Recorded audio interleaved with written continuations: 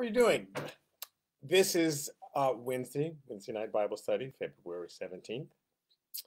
We're studying the book of Matthew. I'm Doug Griffin. And um, let's just review where we've been so far. Let's see. Here we go.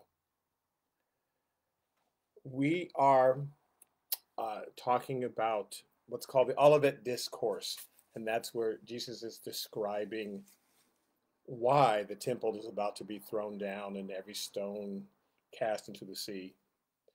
We'll get there in a second. And um, the disciples, like, what are you talking about?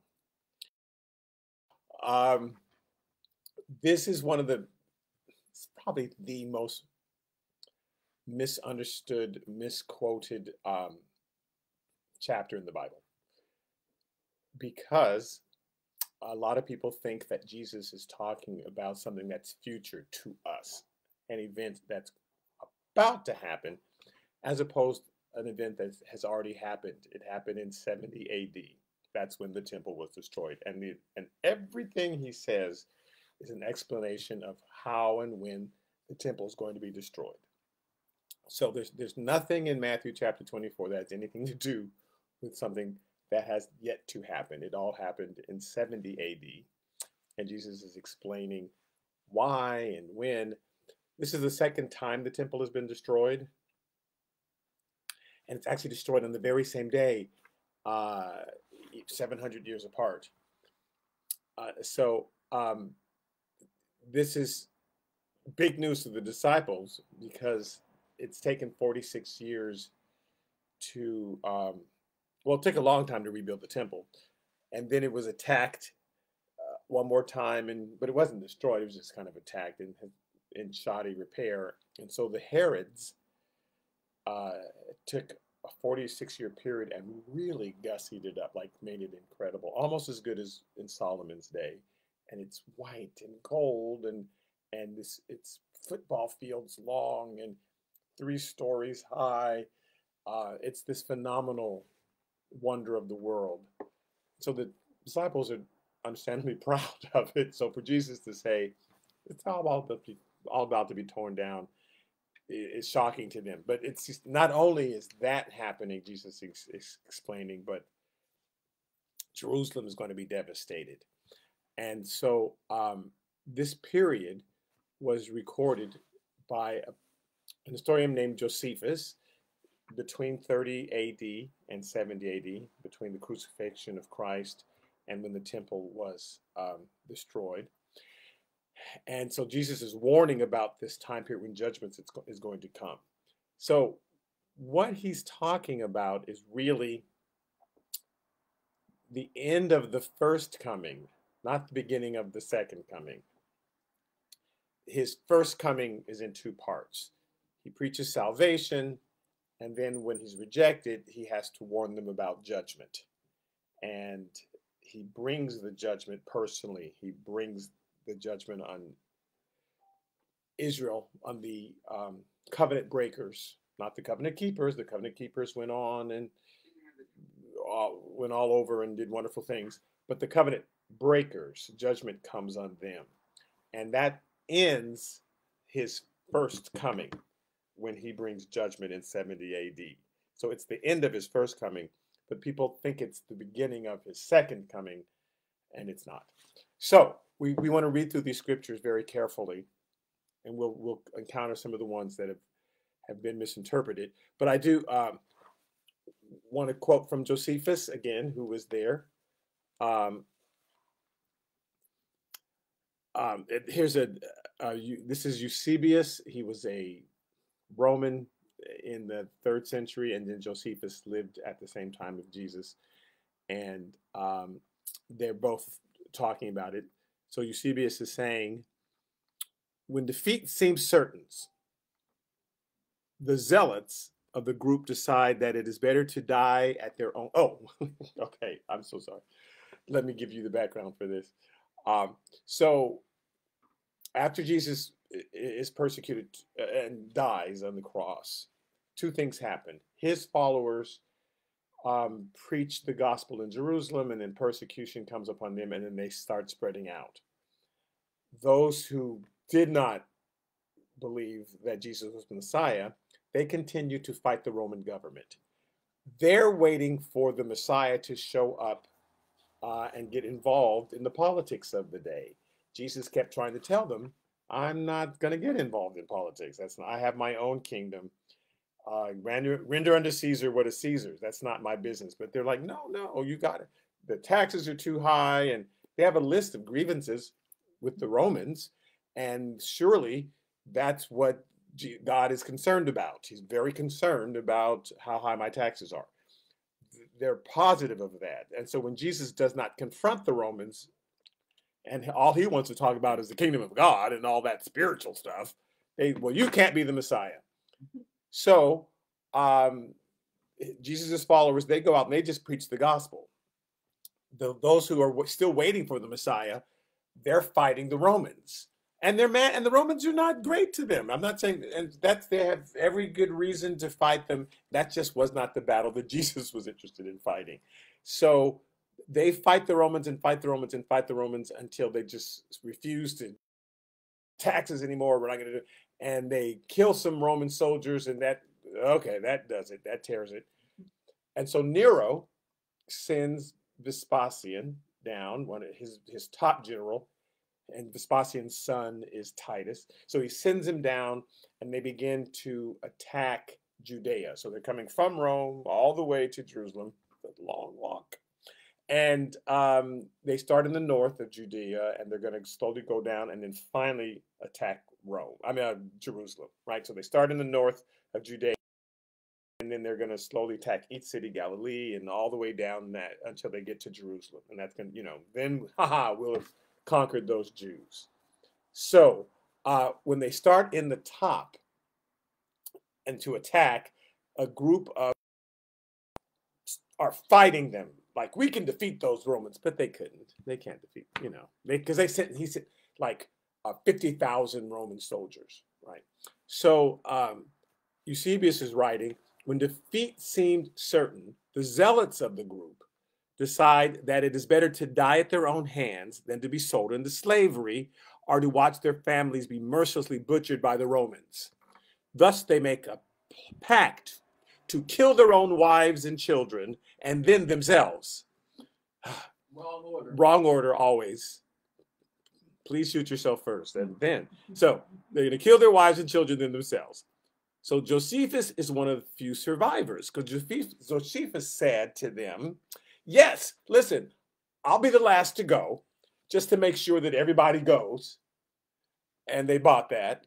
So they all killed their wives and children and then killed themselves. And Josephus said, I'm not feeling that today.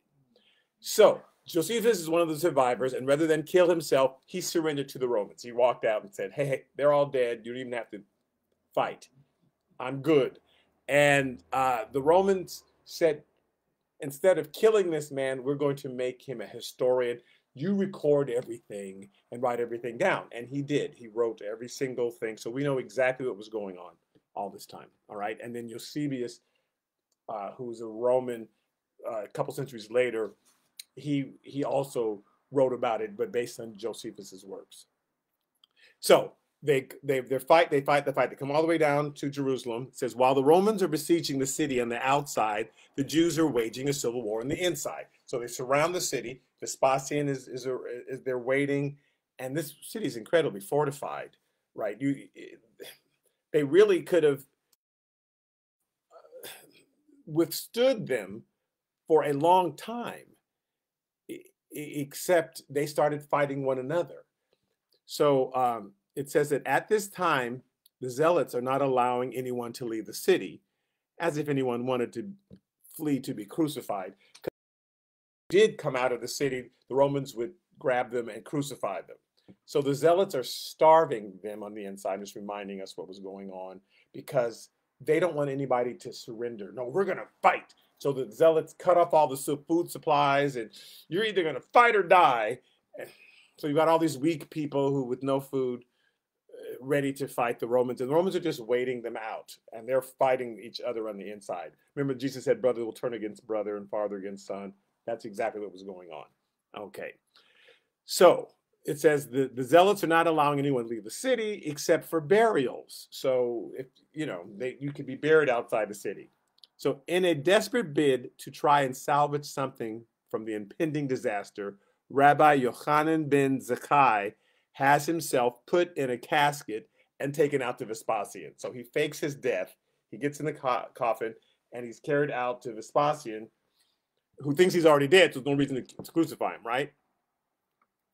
And Vespasian, when he gets out of the casket, he uh, he tells Vespasian, well, first of all, all the Romans go, "Ooh, somebody just got out of the casket."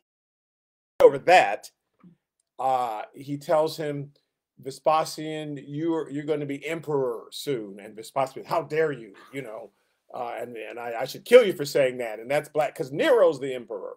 Well, a, a letter shows up saying Nero has just committed suicide, and they want they have decided that at least the Romans have decided that Vespasian should be emperor. There were three other people who also wanted to be emperor at the same time: Galba and Otho and, and, and, other. So there's a big fight that begins to take place over who's going to take Nero's place, and three other emperors over like a six month period each became emperor, but finally Vespasian becomes emperor. But he's very impressed, right, when he gets this letter saying, We want you to be emperor, that this rabbi had just come out and told him, You're going to be emperor someday. So he says, You can have whatever you want. You know, just what, just tell me what you want. And what he asks for is the Torah. He says, There's a city where there are scholars who are working on the Torah, and if I if you could let me go to that city and we could save that city and pres- and preserve it, then would be I wish. So he lets him go to the city, and and that's how we. That's why the Jews still have the Torah to this day, because shortly thereafter, and Titus uh, goes into the city and begins to besiege it, and they would have and they burned the whole city down.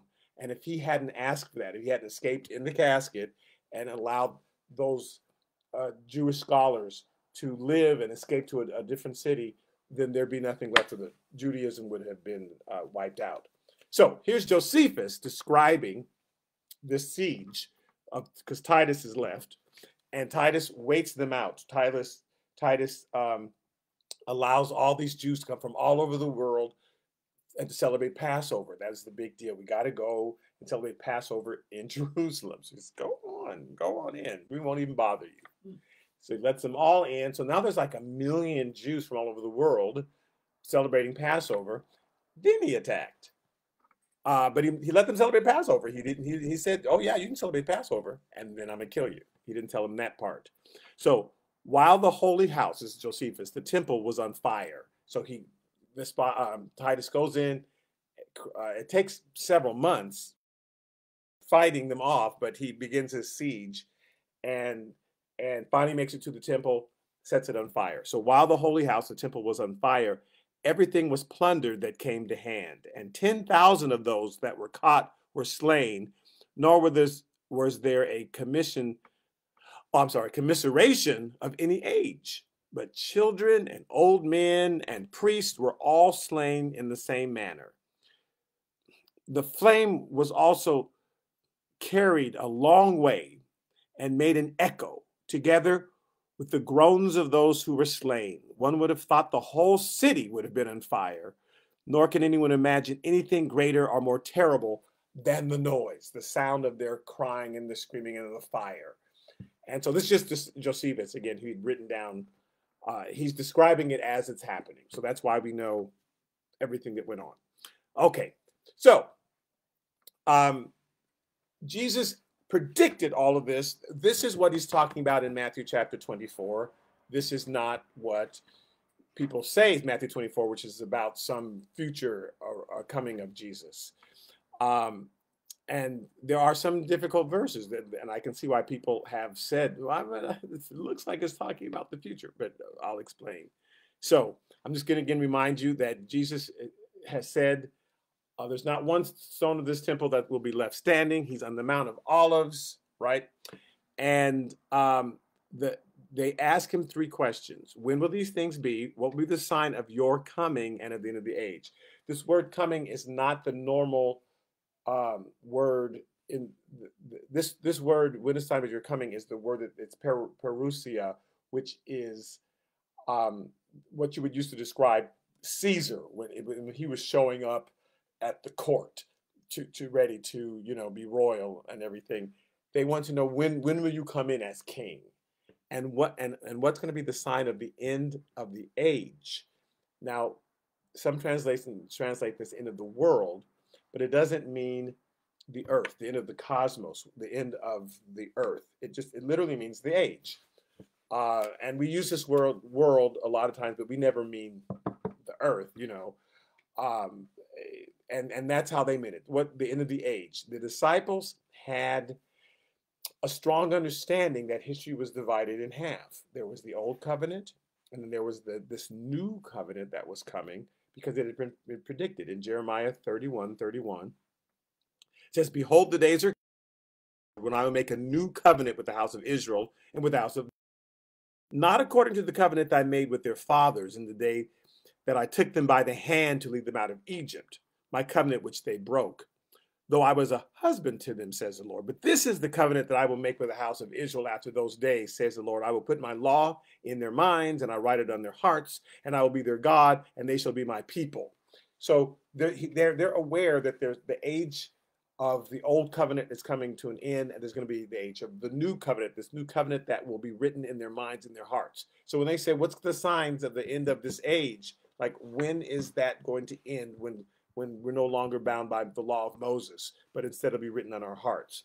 In ezekiel uh, 36 verse 25 and 26 it says i will give you a new heart and put a new spirit within you. I will take the heart of stone out of your flesh and give you a heart of flesh. I will put my spirit within you and cause you to walk in my statutes and you will keep my judgments and do them.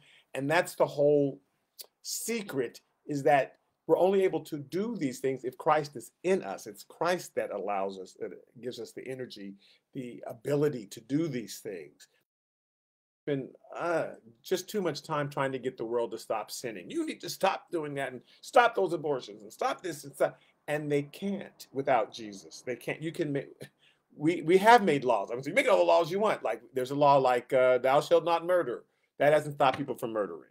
Uh, thievery is a, against the law. That doesn't stop people from doing. Only Jesus can stop that. And we we can. So we can spend a lot of time. We can make a lot of laws.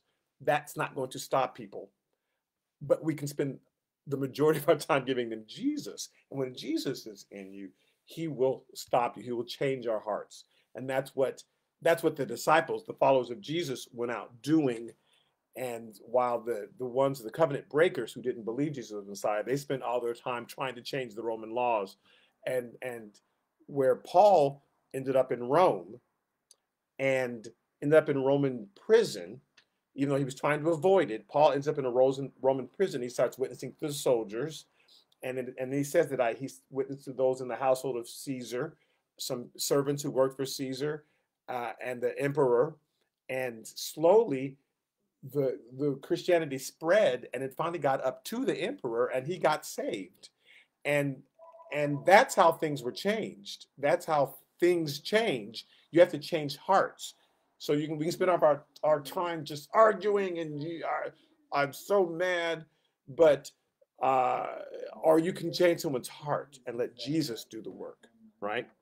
So, um, skipping left off last week, Matthew chapter 24, verse 27 says, For as the lightning comes from the east and flashes to the west, so also will the coming of the Son of Man be. So as the lightning comes from the east and flashes to the west,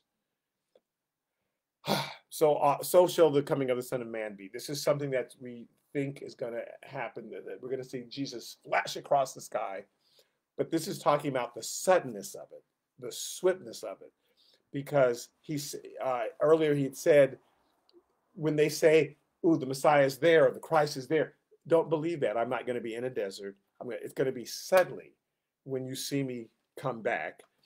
Uh, and again, he's talking about the end of his first coming. Um, it'll be as just as the lightning is going to be quick because lightning flashes, boom, right? So you won't be able to predict it. He's saying there's no use sitting around waiting for it, but just know it will be sudden. Uh, and I read you Malachi chapter 3, uh, verse 1 and 2, where it says, And the Lord whom you seek will suddenly come to his temple. And the messenger of the covenant in whom you delight. Behold, he is coming, says the Lord of hosts, but who can endure the day of his coming? And who can stand when he appears? So, yeah, he's coming, but it's going to be sudden.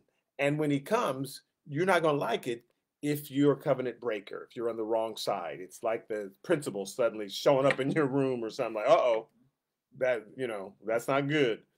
So, and, and again, when someone's suddenly at your door, if the head of the FBI is suddenly at your door, that's never a good thing. And Jesus says, "Okay, I'm coming back, and you you won't be happy. It'll be it'll be sudden. You should have listened to me while I was here, because when I come back, I'm." A... So, um, so as the lightning flashes from the east, it'll be sudden, right? So also will the coming of the Son of Man be, and we want to again attack this phrase, Son of Man. The the phrase Son of Man uh, first in the Bible appeared in Ezekiel, right? God called him Son of Man started right in the first chapter. He says, Son of man. Uh, but I'm going to start in Ezekiel chapter 2. But all through the first chapter, he called him Son of Man.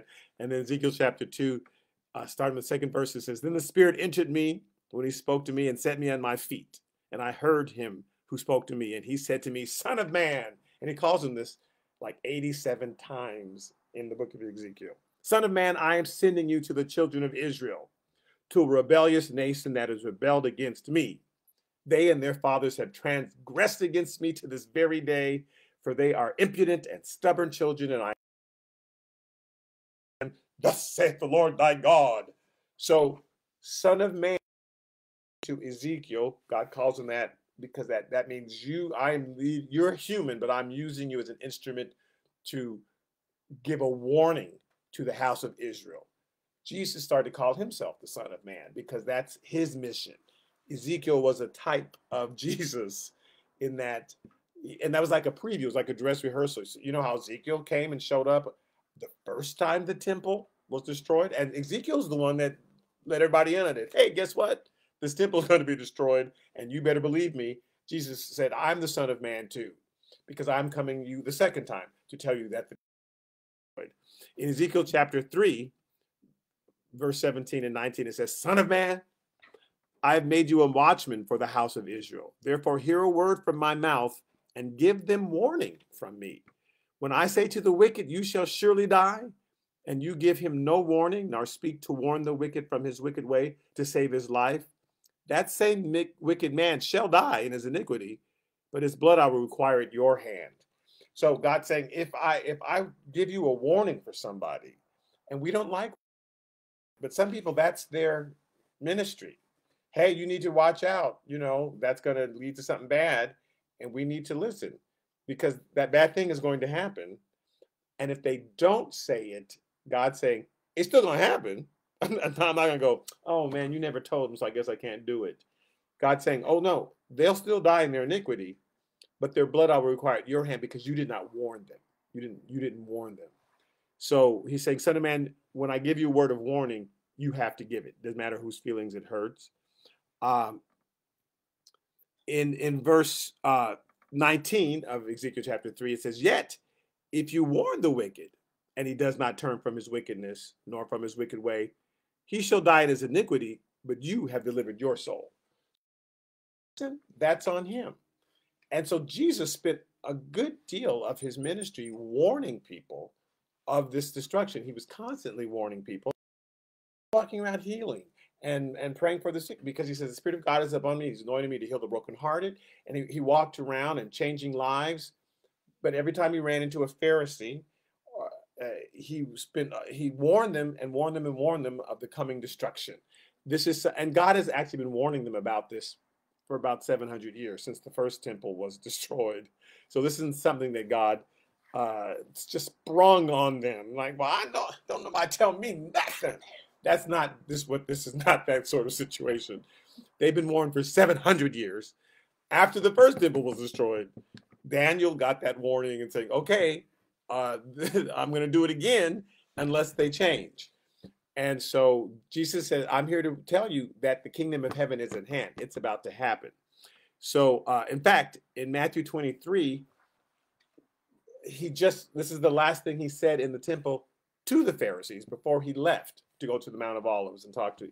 He says, uh, Matthew 23, verse 34 says, Therefore, indeed, I sent you prophets, wise men, and scribes. Some of them you will kill and crucify. So I, am going to send all these people to you. Jesus saying, I'm going to send them to you. Some of them you will kill and crucify. Some of them you will scourge in your synagogues and persecute from city to city, which is exactly what happened to the followers of Jesus, the ones, the covenant keepers. They went out warning in droves, warning people and, and saying, repent for the kingdom of heaven is at hand. And, but they wouldn't listen. So he says, um, some of them you will scourge in your synagogues and persecute from city to city, so that on you may come all the righteous blood shed on the earth, from the blood of righteous Abel to the blood of Zachariah. So I'm sending you people, and all you're going to do is not listen. I know how you are. And so the consequences of all of that has been building up, building up, building up that's why I have a joke with my friends where we like to say, uh, judged instantly when something happens, because it's always better to be judged instantly. If that judgment waits, like I love, like, judge me instantly, Lord. Don't let it, because it builds up like a snowball coming down a hill. It just builds up, builds up, builds up. You think you're getting away with something. God hasn't got me yet. I'm getting away with something. But all it is is the is the punishment, the judgment is getting bigger and bigger because he's giving us time to repent, like a snowball coming down the hill. That avalanche is getting bigger and bigger. He's giving, he's waiting so that we can repent. But we use that time, unfortunately, sometimes to get, well, I wasn't caught, so I guess I'll do it again and and that's you know we do if we're speeding if there's things that we do and if we don't get caught immediately we don't say wow lord that was you're so merciful. Thank you you know i could have gotten killed but uh, we think ah i got away with something. I think i'll do it again. Right right so just because it's not instant we think it's not coming but it's always coming. And so he's warning them for hundreds of years. So he says now on you will all the righteous blood shed uh, from from the blood of righteous Abel to the blood of Zachariah, whom you murdered between the temple and the altar. All of that is coming on you. Don't forget, uh, Cain, who slew Abel, didn't get instant punishment. God gave him space to repent, right? And, but he's saying, I, I have turned my back on that enough. And if I'm sending you people who are telling, I've sent my son, right? And in that parable, you know, he sends the these different servants to the vineyards and saying, "Hey, you guys need to change. You need to change." And they killed every single one. And he said, "Well, surely they won't." And don't call me Shirley. Surely they won't kill my son. But he sends the son, and they kill him too. And Jesus asked the Pharisees, "What should he do? What should the owner of the vineyard do?" He says, "Well, you should kick them out." He says, "Yeah, that's what's about to happen. This whole place is about to be leveled. So on you, it's all going to fall." Because whom you murdered between the temple and the altar because you're this you're the sons of those. You're, but it's even worse you're even more guilty because they were sent prophets but i'm the actual messiah here whom you're about to murder. And so all of it's going to fall on you. So assuredly i say to you all these things will come upon this generation. Okay so he says that that's the last thing he says to them he warns them. They just don't listen then he goes out to the Mount of Olives, and now he's explaining to the disciples when these things are going to occur. So, um, in Matthew chapter 27, um, he again, and this is why it doesn't only fall on the priests. He he warns the people, and um, when when he's standing in judgment and and they've decided already that they're going to ask for Barabbas instead of asking for Jesus, the people have you know yeah yeah we that Jesus you know he yeah he went around healing the sick and casting devils out of people, but what has he done for me lately? Hmm. Kill him, right? So Pilate's questioned Jesus to see why why are they trying to kill you, and of course he can find nothing. And in Matthew twenty seven verse twenty four it says when Pilate saw prevail at all. Like he couldn't convince the people. In fact, he says, "But this is your king," and they said, "We have no king but Caesar." So okay, so you're making Caesar your king instead of God. All right. So when he saw that he couldn't prevail at all, but rather that a tumult was rising, He took water and washed his hands before the multitude, saying, I am innocent of the blood of this just person. You see to it. And all the people answered and said, His blood be on us and on our children. Uh-oh. Okay. So this is it's amazing, right? Because Jesus has done every sign. He he was born at the time that the prophets predicted. He they saw him raise people from the dead. I mean, what else could he do? He's done everything he could do, and they still said, "No, we want crucify him because we don't want to hear what he's got to say." And so, you know, his blood be on us and on our children. As Jesus was taking the cross uh, up the hill later on, uh, he says that there were people weeping following him, and, and these were the trained weepers. You could hire them, and they'd come and make sure there was plenty of weeping whenever your child, if somebody died, you know, they were good at it. So they're following him and weeping. And in verse uh, Luke 23 28, it says, Jesus turned to them and said, Daughters of Jerusalem, do not weep for me, weep for yourselves and for your children. Mm. Because you just you know, you've you've wished this on you, and that's what's going to happen. In fact, Luke 21 20, he says, These are the days of vengeance, that all the things which are written may be fulfilled. So he's done everything he could do. It's, we're just not as aware of it because we love to point to all the wonderful things and he healed this person and he healed that person, and which he did. And we kind of skip over all the parts. But half of what Jesus did was warn people of what was to come. And they skipped over those parts too. They're just like, we don't we don't like hearing bad stuff. La la la la la, la I want to hear it. Okay, but it's still coming whether you want to hear it or not. So Matthew chapter verse 26. Jesus explaining to them as lightning. Oh, I actually I backed up. Therefore, if they say to you, look, he's in this desert, don't go out there. Look, he's in the inner, inner rooms, don't believe it. Because if you're looking for this disciple to for the Messiah, he- he's not going to be in the desert, he's not going to be in the mountains. For as the lightning comes from the east and flashes to the west, so also the coming of the Son of Man be. It's going to be boom, just like that. And he will come to administer justice, just like Ezekiel came and warned, and then it happened. I'm that same Son of Man, that like just like Ezekiel. Verse 28: Forever the carcass is, there the eagles will be gathered together. That's you'll you'll know where to find me because there'll be vultures hovering over all the death that will have happened.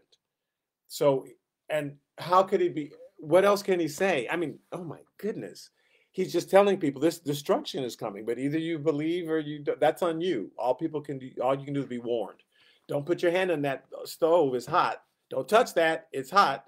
Be careful to walk on that glass. Uh, you- And then people have to decide if they're going to listen or not. And those who listen are saved, and those who don't really can't complain because they were warned. Verse 29 Immediately after the tribulation of those days, the sun will be darkened and the moon will not give its light. So, this is when people say everything you're saying, but that doesn't sound, that, that sounds like the end of the world. That sounds like the end of the world, not the end of the first coming, not just judgment only on Jerusalem. That sounds like when people say, and see, this is this is when the world's going to end seven years from now, or a hundred, however they say. He's still talking about the destruction of Jerusalem, and he's using poetic language. And he's using language from the Old Testament. What happened in the 70s when these incredible books came out, like 88 Reasons Why Jesus is Coming Back in 88. Mhm. And then now first he wrote 86 Reasons Why He's Coming Back in 86. And then when and then in, when that didn't happen, he wrote a book called 88 Reasons Why He's Coming Back in 88 and no repentance. They just keep moving the goalposts. They don't ever say, maybe we're wrong on this thing. Maybe Jesus isn't coming back. Maybe the sign wasn't when Israel becomes a nation. They just tell you, okay, well now it's going to be 2007, uh, and that's good. So they just keep moving it. It'd be any. T- I'm telling you, any time now, and they just keep saying because they're misreading it. These are people who who did not read the Old Testament because the Old Testament, I guess, can be feel boring to some people. I think it's amazing uh, and has like the best stories ever written in it. And so I feast on the Old Testament, and then when I read through the New Testament, I realize, oh, he's just quoting the Old Testament. Oh, that's just quoting the Old Testament. That's because that's all. There was no New Testament when Jesus was preaching. Everyone knew the Old Testament, and he would quote it to fulfillment of this scripture, this is fulfillment of that scripture. So when he says immediately after the tribulation of those days, the sun will be darkened and the moon will not give its light, and the stars will fall from heaven, and the powers of the heaven will be shaken. He's quoting um, every single time God brought destruction on a nation. He would use that same language. God would say, like in Isaiah chapter 13, verse 1 and then 9 through 10. He says, This is the burden against Babylon, which Isaiah the son of Amos saw. So Isaiah saw this. He says, Behold, verse 9, the day of the Lord comes, cruel with both wrath and fierce anger, to lay the land desolate, and he will destroy its sinners from it. For the stars of heaven and their constellations will not give their light, and the sun will be darkened in its going forth, and the moon will not cause its light to shine.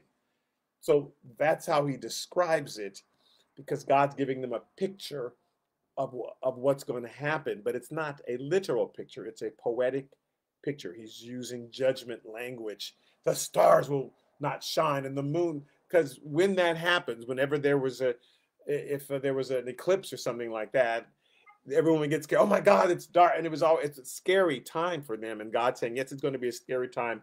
I'm coming in in judgment. And yes, he brought down Babylon. Isaiah predicted it and it happened. But it's not like the stars didn't shine. This is not literal language. It's just judgment language that he used whenever he was going to judge a place. Ezekiel chapter 32. Verse 1 says, Son of man, take up a lamentation for Pharaoh, king of Egypt, and say to him. And then you skip down to verse 7 and 8, and here's what he's saying Egypt. Now, this is not the Egypt that Moses went to. This is Egypt around 300, 300, 400 BC that Ezekiel saying is going to happen. He says uh, in verse 7 When I put out your light, I will cover the heavens and make its stars dark. I will cover the sun with a cloud, and the moon shall not give her light. And the bright lights of the heavens I will make dark and over you and bring darkness upon your land, says the Lord God. So uh, this is just his language. So Jesus is saying, um, "This when I come, the, the the moon will not give its light. The stars will fall from heaven. The powers of heaven will be shaken, so that they know, uh oh, that's judgment. That's what he says whenever there's place. And I guess judgment is coming on." Jesus says, and then the sign of the Son of Man will appear in heaven. And then all the tribes of the earth will mourn, and they will see the Son of Man coming on the clouds of heaven with power and great glory. Ooh, hope I have I want to take have my time to do this. Um, so, so I want to talk about the part of this where it says the Son of Man coming on the clouds of heaven with power and great glory. Again, we we discussed before that literally you weren't going to see Jesus sitting on a cloud and just kind of floating by, but that idea of clouds coming before a storm again, he is clo- he is quoting Old Testament scripture that the hearers would go, "Oh, ooh, coming on the clouds. I know what that is. I've heard that language before." Here's what some people think it is, and I just want to I just don't agree, but I'll let you make up your mind. Uh, in Daniel chapter 7, Daniel has a vision of four beasts, and the fourth one has 10 horns, and the, this beast is the Roman Empire. The 10 horns, I believe, are 10 emperors who came from the period when Jesus was born until seven. 10 emperors during that time period. Vespasian was one of them. Uh, Nero was one of them. Augustus, Claudius, uh, all these Tiberius, these are all these these these emperors. Uh, so he has a vision of the Roman Empire. It's the, that's the fourth beast with ten horns, and then one of the horns, um, there's one that pops out, right? Not like a zit, but and three horns are replaced by this one, uh, and this one horn begins to persecute the saints. So in Daniel's vision, and I, you'll see why I'm talking about because it, it, there's a vision of someone coming with the clouds, not on the clouds, but with the clouds. Uh, Daniel chapter 7. I was considering the horns, and there was another horn, a little one, coming up among them, before whom three of the first horns were plucked out by the roots. So, three of the first horns, that's significant, were, were displaced by this one horn. And there in this horn were eyes like the eyes of a man and a mouth speaking pompous words. Now, obviously, this is just symbolic of someone who's attacking with words and says, I watched, verse 9, I watched till thrones were put in place, and the Ancient of Days was seated, and his garment was white as snow, and the hair of his head was like pure wool. And his throne was a fiery flame, and its wheels a burning fire. So that is the exact description that John gives Jesus in the book of Revelation in the first chapter. He describes him that same way. In verse 14, it says, His head and hair were white like wool, as white as snow, and his eyes were like flame. His feet were like, like fine brass, as if refined in a furnace. And when I saw him, I fell at his feet as dead, but he laid his right hand on me, saying, said to me, Do not be afraid. I am the first and the last. I am he who lives and was dead. And behold, I am alive forevermore. That can only be Jesus. That's a description of Jesus. He was alive, he died, and now he's alive forevermore. That's not a description of God. God didn't die. If he did, we're in trouble. So, but Jesus, who went, you know, came in this earth suit, he did die and took our place and took our punishment for us. So, so this is an image for me, the Ancient of Days is being described the same way that Jesus is described. I believe that this is Jesus who sat down in the chair. But here's the confusing part. Uh, in verse 13, it says, I was watching in the night's visions, and behold, one like the Son of Man came with the clouds of heaven. Now he's coming up to heaven. This is an ascension up to heaven. This is not coming down to the earth to bring judgment. This is someone coming up to the heavens. And I could understand why you think this is Jesus, because that's exactly what he did in the first chapter of Acts. He went up to heaven. But he's already sitting on the throne. And, and again, the Bible says no one has seen God at any time. No man has seen God at any time. So I, I just don't understand how Daniel could have had a vision of and described him. And his hair was white. When it says no one has seen God at any time, I think that was Jesus. Who's coming up? Who's coming up then? And I understand why people think that's Jesus coming up. I, I get it. Okay, coming with the clouds of heaven, coming up to heaven, and he came to the Ancient of Days, and they brought him near before him. Then to him was given and I believe it's to the Ancient of Days. So I saw the Ancient of Days, I see him coming up, and they bring him before him, and to him, I believe that him is referring to the Ancient Days, to him was given dominion and glory and a kingdom that all peoples, nations, and language should serve him. His dominion is an everlasting dominion which shall not pass away, and his kingdom the one which shall not be destroyed. So we've got two choices. This is either God sitting in the throne and Jesus came up to him, or this is Jesus sitting in the throne and someone else has come up there. So I believe it's number two, number uh, uh, number B. Number B. Okay, twenty verse twenty one in then chapter seven says, "I was watching." So he's beginning to get the explanation. I was watching, and the same horn was making war against the saints. Remember, he had a vision of a of a, of a horn that was speaking pompous words, and then thrones were set in place, and the Ancient of Days sat down. So he says, I was watching, and that same horn was making war against the saints and prevailing against them. I believe that that is the saints that Jesus sent out to preach the word, and they're being persecuted by the covenant breakers. The covenant keepers are being persecuted by the covenant breakers, right? And everywhere Paul went, Peter went, James, the, the Herodians are attacking them, the Jews in power, everybody's attacking them, right? So it says, I was watching, the same horn was making war against the saints and prevailing against them until the Ancient of Days came. And a judgment was made in favor of the saints of the Most High, and the time came for the saint kingdom. So I believe, for me, that person coming up is, is an image of the saints who's who we're receiving the kingdom. God is giving us his kingdom because Jesus said, The kingdom of heaven is already among you. I'm already here. I'm trying to invite you into the kingdom. I'm trying to give us the kingdom. And he says, to Peter, I'm giving you the keys to the kingdom. Uh, verse 24 the ten horns are ten kings who shall arise from this kingdom. That's the Roman Empire. And another shall arise after them, and he shall be different from the first ones, the first three kings. He'll be different and shall subdue them, take their place. And the Herodians spoke for three Roman emperors the Herodians, King, uh, King Herod, and Herod Agrippa, and they spoke and they they were the voice of Rome in the city for many years. And they're the ones who attacked uh, and killed James and persecuted Peter, and they were carrying out Rome's bidding. And I believe that that's what that little horn is.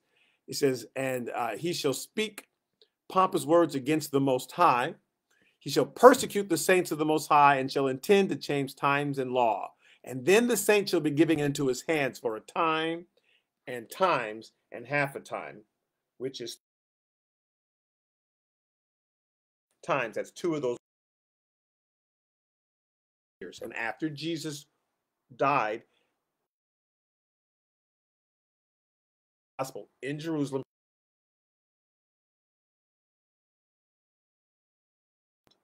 And that's when everybody spread out. Boom, they left. So once they stoned Stephen, and he looks up and he has this same vision, and he sees at this point, that's when I believe the books are opened, and God says, Okay, now I'm going to begin to to bring judgment on Jerusalem. I gave Jerusalem a chance. I sent Jesus, and for three and a half years, I had them preaching, and they killed Stephen. Done. Okay, so he says, Then the saints shall be given into his hand for a time and times and half a time. I believe that's three and a half years. But the court shall be sealed, seated. I'm sorry. So now the court's going to be seated. And they shall take away his dominion to consume and destroy it forever. Then the kingdom and dominion and the greatness of the kingdoms under the whole heaven shall be given to the people and to the saints of the Most High. So I believe that is a type of the church going up to receive, and he's giving them the kingdom that, that Jesus is the ancient of days sitting there and saying, I'm now I'm giving you authority. All authority is given to me in both in heaven and in earth. And now I'm passing it unto you to go out and spread the gospel, to lay hands on the sick, and to preach the word. And, and that we are now his kingdom, we're carrying his kingdom forward. And so the and the gates of hell won't prevail against us if we're on the move. But if we're just sitting around doing nothing, then the gates of hell are like, whoo, I'm so glad they're not showing up here. So he's given us authority, and that's what the disciples did. They spread the word until finally Jesus is okay, that's done. And all dominions shall serve and obey him. So, just I'm about to end. Uh, in Isaiah chapter 19, so when Jesus says you, you shall see him coming in the clouds, I believe he's quoting this particular scripture, not the one I just spent a lot of time on. He says, Isaiah 19, 1, the burden against Egypt. Behold, the Lord rides on a swift cloud and will come into Egypt and the idols of Egypt will totter at his presence, at the heart of Egypt, and will melt in its midst. In its midst. And so when, when God, and that just, I just picked Isaiah uh, 19, but whenever he was about to come and bring judgment, he would say, I'm coming on a cloud and I'm going to bring judgment. And when Jesus says, and you'll see the Son of Man coming on a cloud, I believe that he's doing what he says in, in here in Mark chapter 14. He's sitting on his throne, but he's sitting in that cloud of judgment right?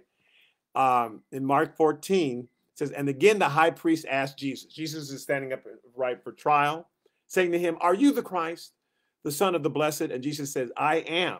And you will see the Son of Man sitting at the right hand of power and coming with the clouds of heaven. So you're, you're gonna, you are gonna see this judgment. Uh, you're gonna see him sitting the right hand of power, but sending out that cloud of judgment that rainstorm. It's going to rain, children, and and the old do that all the time. And that was a type of the judgment is coming, you know. So you better get inside that ark. And in fact, Jesus talks about that coming up, about those who were smart enough to get inside the ark, because that rain is coming, and that when that, that the clouds is that type of that judgment that came even in Noah's day. So, and it says, and he will send his angels. This is back to Jesus with the sound, the great sound of a trumpet, and they will gather together his elect from the four winds and from one end of heaven to the other. So we'll explain that. We'll dissect that next Wednesday. Uh, and I know there's a lot of information, but this is all still about Jesus talking about judgment coming on Jerusalem. It's not the second coming. It's you want to talk about the second coming, you read First Corinthians chapter 15, it's all about that. But this is about the end of his first coming, where he says, I, I'm going to bring salvation and judgment. And so he ends with judgment. But all those who listened, they escaped. And we want to make sure that we keep preaching, keep spreading the word because he's giving the kingdom into our hands and it's up to us to spread it. All right. So thank you again for for listening and I will be speaking again Sunday school on Sunday, this Sunday, and I'll see others of you uh, next week.